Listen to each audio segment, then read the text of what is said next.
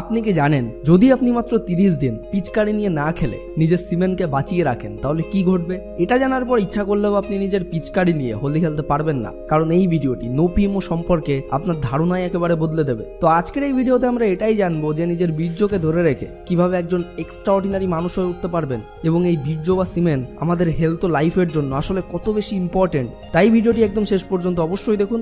তো চলুন, আর বেশি কথা না বাড়িয়ে আজকের ভিডিওটি শুরু করা যাক। এটা এমন একটা জিনিস যা একজন মানুষের শরীরে নিউক্লিয়ার বোমার চেয়েও বেশি শক্তি সরবরাহ করতে সক্ষম, যে ব্যাপারটা সহজেই বোঝা যায় এটা দেখে যে সিমেনের মাত্র একটি সেল একজন নতুন মানুষকে জন্ম দেওয়ার ক্ষমতা রাখে যেটা থেকে এর ইম্পর্টেন্ট সম্পর্কে ইজিলি আন্দাজ করা যায়? আপনি যদি সেক্স ট্রান্সমিউটেশনের মাধ্যমে এই শক্তিকে অ্যাবজর্ব করে বুদ্ধির বিকাশ ঘটাতে ব্যবহার করেন, তাহলে আপনি এত বেশি ইন্টেলিজেন্ট ও জিনিয়াস মানুষ হয়ে উঠতে পারবেন, যেটা বলে বোঝানো কখনোই পসিবল নয়। প্রাচীনকাল থেকেই যদি আপনি হয়ে আসা সমস্ত জ্ঞানী পুরুষদের সম্পর্কে রিসার্চ করেন, তাহলেই দেখতে পাবেন যে তাদের মধ্যে ম্যাক্সিমাম লোকই ব্রহ্মচারী ছিলেন। যেমন Swami Vivekananda, Nikola Tesla APJ Abdul Kalam, Gama Pehelwan. এরা প্রত্যেকেই ব্রহ্মচারী ছিলেন, যারা জীবনে কখনোই তাদের ভাইটাল ফ্লুইডকে নষ্ট করেননি। সো এবার আপনি নিজেই বিচার করুন যে আপনার শরীরের মোস্ট ভাইটাল ফ্লুইড যেটা রক্তের থেকেও অনেক বেশি দামি, এবং যে ফ্লুইডের মাত্র একটা সেলের সাহায্যে সম্পূর্ণ নতুন রক্ত মাংসের একজন মানুষ তৈরি হয়ে যায়, সেই ভাইটাল ফ্লুইডকে দুই সেকেন্ডে বাইরে ফেলে জামা কাপড়ে বা বাথরুমের নালিতে ভাসিয়ে দেবেন,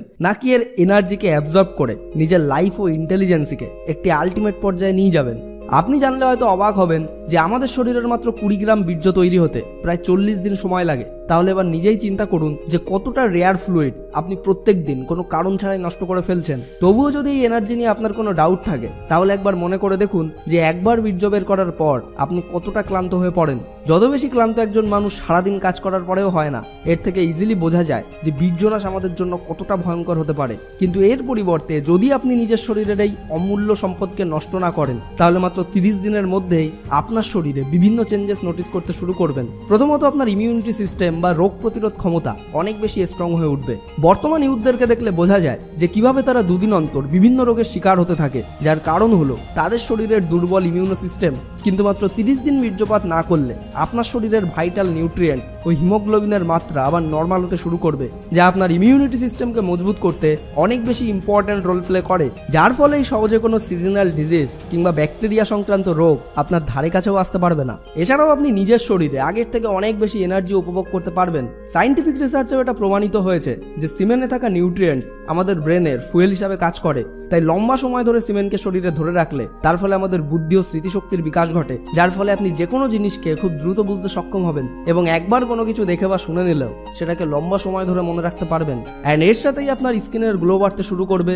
ডাল স্কিন, ফেসের রিঙ্কেলস ব্রণজনিত সমস্যা খুব সহজেই দূর হয়ে যাবে। চেহারা উজ্জ্বল ও সুন্দর হয়ে উঠতে শুরু করবে। অনেকে বলে যে, ভাই, আমার চুল পড়ে যাচ্ছে। চুল অল্প বয়সেই সাদা হয়ে যাচ্ছে। তো ভাই আপনিই বলুন, যদি আপনি চুলের প্রয়োজনীয় পুষ্টি, অত্যাধিক পরিমাণ হস্তমৈথুন করে বীর্যের সাথে প্রত্যেক দিন নষ্ট করে ফেলেন, তাহলে চুল আপনার ভালো হবে কি করে? একজন ইয়ং ছেলে প্রতিদিন একবার থেকে শুরু করে, না জানি কতবার হস্তক্রিয়া করে বীর্য বার করতে থাকে, যতক্ষণ না পর্যন্ত ভেতর থেকে শুধু হাওয়া বাইরে আসতে থাকে, তাহলে তার শরীরের সিস্টেম সারাক্ষণ অন্যদিকে ফোকাস না করে বীর্য তৈরিতেই বিজি থাকবে, এটাই তো স্বাভাবিক। তাহলে চুল ফেস হাড়, পেশি চেহারা, এসব তো খারাপ হবেই। কারণ আমাদের শরীরের নাম্বার ওয়ান প্রায়োরিটি হলো রিপ্রোডাকশন সিস্টেমে খেয়াল করা। কিন্তু আমি যতই এক্সপ্লেন করি না কেন, আপনার পিচকারি, আপনার রং, তাই ডিসিশনটাও আপনাকেই নিতে হবে। আর আপনি যদি আমার এই কথাগুলিকে সিরিয়াসলি নিয়ে মাত্র তিরিশ দিন বীর্যপাত না করেই কাটিয়ে দেন, তখন আর আমার আপনাকে বোঝানোর কোনো প্রয়োজন পড়বে না। বিকজ তখন আপনি নিজেই লক্ষ্য করতে পারবেন যে আপনার মধ্যে ধীরে ধীরে একটা পরিবর্তন আসছে। আর এভাবেই যখন আপনি আরও বেশি দিন নো পিএমও কন্টিনিউ করতে শুরু করবেন, তখন নিজেই নিজের বুদ্ধিমত্তা ও এনার্জি দেখে অবাক হতে থাকবেন।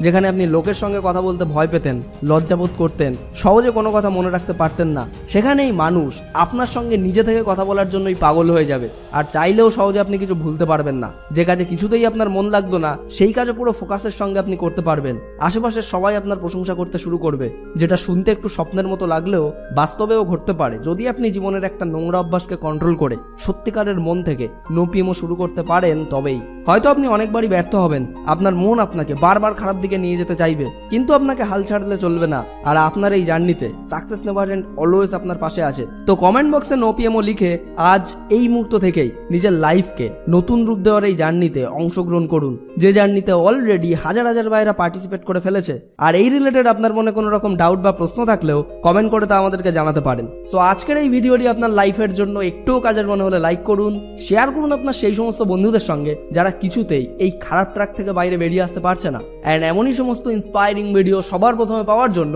এখনই আমাদের চ্যানেলটিকে সাবস্ক্রাইব করে পাশের বেল আইকনটিকেও প্রেস করে রাখুন। সম্পূর্ণ ভিডিওটি দেখার জন্য আপনাকে অসংখ্য ধন্যবাদ।